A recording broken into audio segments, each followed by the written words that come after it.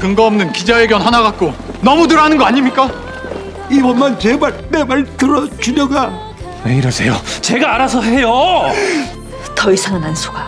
나까지 끌어들이지 말라고. 고성우 마지막 거쳐 저희도 같이 가도 되겠습니까? 이제라도 집도위였던 네가 바로 잡아. 당신 고생 많았다 네 아빠 경찰서 간 것 같아.